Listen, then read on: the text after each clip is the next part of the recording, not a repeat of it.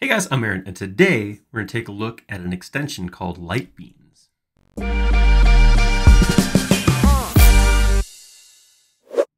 So, actually, the extension is listed as Photoreal Textures for SketchUp, uh, but I believe the manufacturer of it, or the, the, the, the, the group releasing is called Light Lightbeans. I'm not sure. The, the names get a little mixed up as you go through the extension. But what it is, is access to a very large library of PBR materials that we can use inside of SketchUp. So pretty cool. Let's take a look at it right now.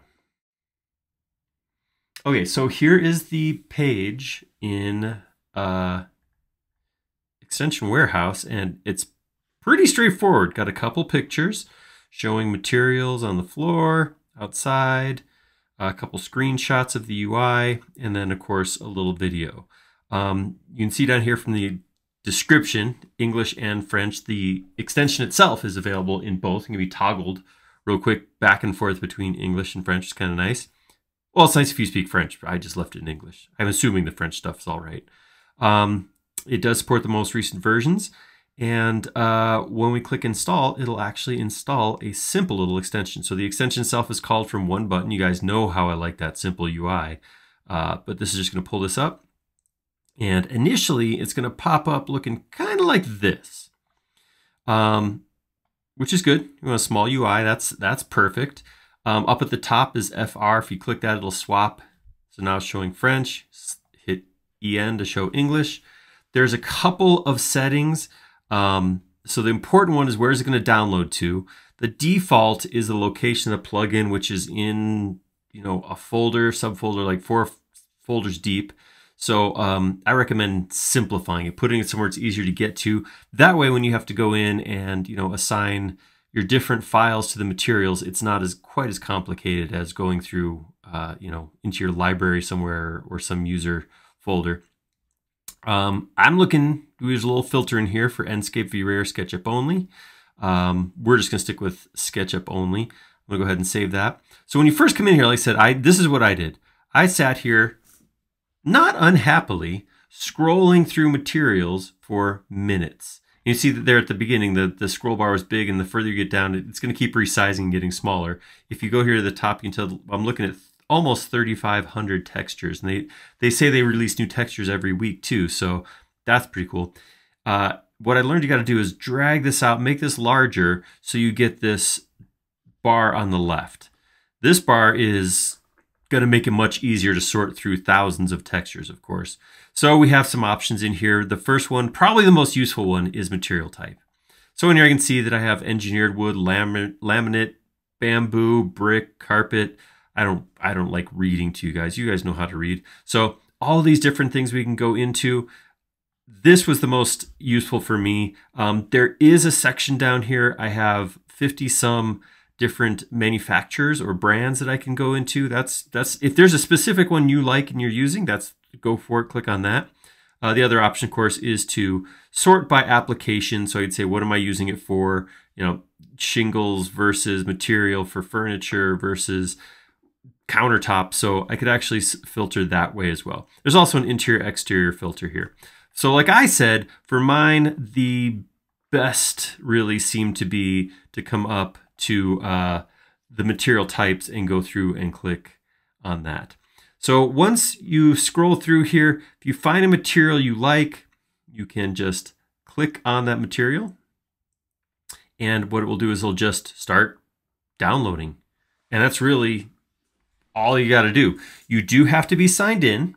So when you initially install the extension and the first time you sign in, it'll ask you to create an account and that account will come with a 60 minute uh, basically window in which you can download whatever materials you want uh, into you know to, to use to play with. Um, after that you do have to subscribe. You do have to pay for it. It is but but again if you're doing a lot of materials kind of like when we looked at some other extensions like architecture Architextures this is definitely a worthwhile one to go in and get uh, some high quality materials out of here. Let's grab a couple more. Let's go look at something like, um, I'm just going to scroll through here. Let's just, let's just run down this list. We have a lot of herringbone wood and uh, different materials for, for flooring.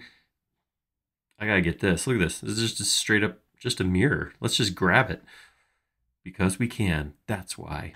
Um, let's grab one more. Let's look for something a little bit different. Uh, maybe we just grab a wood. Let's let's uh, let's grab a nice smooth wood. Let's let's grab that. You can see as I'm doing each one, it is downloading that material. All right, so once that's done, we're gonna go in and these just get dumped right into our paint bucket, our, our colors UI for the paint bucket. So I'm gonna go ahead and close this. I'm gonna bring my colors, whoops, wrong button. I'm gonna bring my colors palette on here.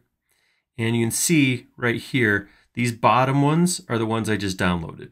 So they don't look very amazing right now, but if I double click into one of these, so this is the silver shadow vein, if I click in there, it'll show me the material, and now I can come in and I can turn on the metalness. And I can turn on the roughness, probably slide metalness down, stone, and I can add things like the normal map. It's going to download to your location. Mine was in downloads and it's going to create a folder. So the folder for this was Enscape. I'm not sure, I, I don't know exactly how that works since I did have uh, SketchUp only turned on, but the folder it downloaded was that. So, so there, so that's where it is. And for each material I download, it's going to create a folder. So if I double click to go into that folder, I can look right here and I can see, okay, it shows me all the files I would need. Whoops. Uh, eh. There we go. And we're looking for the roughness. So I'm going to go ahead and use this one. And it doesn't have anything called ambient occlusion, but I was playing with this a little bit.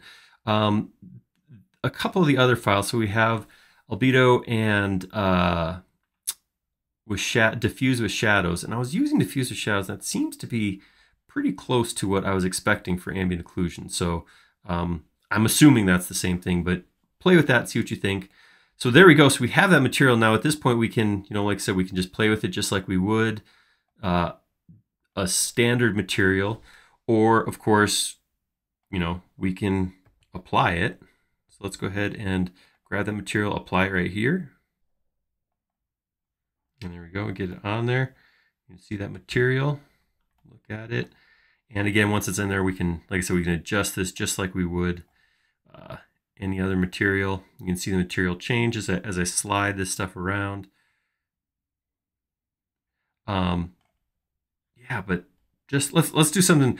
So I, that was tile. I was not real super exciting. Let's go grab that. Um, let's go grab that reflective material. I think it was Finny Mirror. There we go. Let's double click on that mirror. Add metalness. Add roughness. Um, it does have a normal map despite being I don't know, just a mirror. but uh, yeah, we can grab it and we'll see the normal map. Um, just apply that. And spin that around. I'll probably edit it. Metalness up. Let's take our roughness way down. Because we should be able to, if we do that, we should be able to see, yep, there's the sky reflecting in it. So you can see pretty quick and easy to get downloaded. Save that. Um, but just another option. The thing I like about this, so there's lots of PBRs out there, right? You can get PBR materials from number of down of websites. We can just download them and and start using them easy enough. Um, the thing I like about this is that it all happens inside of SketchUp. So once I sign up for that, I have the materials. I can just start pulling them in, drop them right side inside of SketchUp, and then I can use them as PBRs right there. So uh, a cool little extension worth checking out. Do the trial, do the 60 minute trial, grab a couple materials and play with them, see what you think. Um, yeah, that's what trials are for. Try it out. It's the first part of trial is try. I don't know if that wasn't as insightful as I wanted it to be, but check it out. It's worth checking out. So there it is, light beans. Like I said, I got a little confused because the UI the, the listing page calls it photo photoreal materials and then the extension itself is installed as light beans. Um, i do like that little logo though. That little little green bean up there is kind of fun. Um, but yeah check it out. It's a great way like i said the, the the perk for me of light beans was the fact that the ui everything it all sits inside of sketchup. Um, when we first started using photoreal materials i went out to pbr places and i downloaded these folders and then i had to start importing one at a time and then uh, it, it's too much for me, I'll be honest. So the fact that it's all there inside of SketchUp, you do have to still go click and get, find the roughness maps and everything, but uh, pretty easy to do uh, when it's all in one location. So check it out. Uh, try it out. Let me know what you think. If you like this video, click like down below. And if you haven't already, please do subscribe. We create several videos each and every week, and you'll be notified of all of them if you subscribe. Most importantly, to leave us a comment down below. Did you like this extension? There's another extension you think we should look at? Or do you just have another idea for a video that you think we should do? Uh, we like making these videos a lot. We like even more when they're showing something you want to see. Thank you.